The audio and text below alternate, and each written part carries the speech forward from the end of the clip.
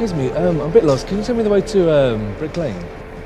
Brick Lane? Yeah, please. Uh, yeah, the best way is if you go through the doors, right. take a left at the traffic lights, Right. and Brick Lane's ahead of you. Oh, brilliant, thanks. All right. Wait a sec, excuse me. Don't I know you from somewhere?